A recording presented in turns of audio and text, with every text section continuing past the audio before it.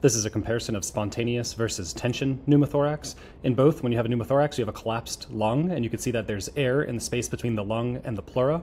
This is the comparison. Spontaneous pneumothorax has a primary and secondary condition. If it's primary, there's no preceding event or lung disease. It usually happens in thin young men. Secondary spontaneous pneumothorax has an underlying lung disease like COPD. Tension pneumothorax is life threatening. It's often due to trauma or mechanical ventilation.